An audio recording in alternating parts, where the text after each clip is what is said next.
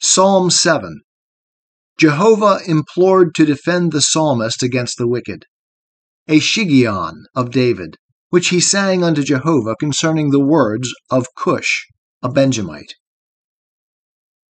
O Jehovah my God, in thee do I take refuge. Save me from all them that pursue me, and deliver me, lest they tear my soul like a lion, rending it in pieces, while there is none to deliver. O Jehovah my God, if I have done this, if there be iniquity in my hands, if I have rewarded evil unto him that was at peace with me, yea, I have delivered him that without cause was mine adversary. Let the enemy pursue my soul and overtake it. Yea, let him tread my life down to the earth, and lay my glory in the dust. Selah. Arise, O Jehovah, in thine anger. Lift up thyself against the rage of mine adversaries, and awake for me.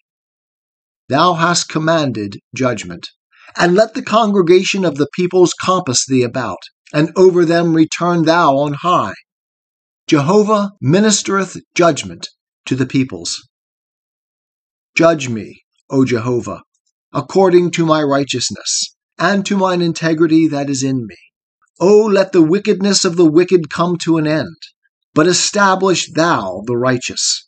For the righteous God trieth the minds and hearts. My shield is with God, who saveth the upright in heart. God is a righteous judge, yea, a God that hath indignation every day. If a man turn not, he will whet his sword. He hath bent his bow and made it ready. He hath also prepared for him the instruments of death. He maketh his arrows fiery shafts. Behold, he travaileth with iniquity. Yea, he hath conceived mischief, and brought forth falsehood. He hath made a pit, and digged it, and is fallen into the ditch which he made. His mischief shall return upon his own head, and his violence shall come down upon his own pate. I will give thanks unto Jehovah according to his righteousness, and will sing praise to the name of Jehovah Most High.